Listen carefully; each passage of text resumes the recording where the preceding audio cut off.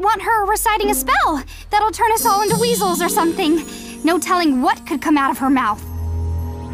Okay, Jailbird. Your new home sweet home is going to be juvenile maximum security. Don't worry, Gwen. I'll take care of your family and that watch.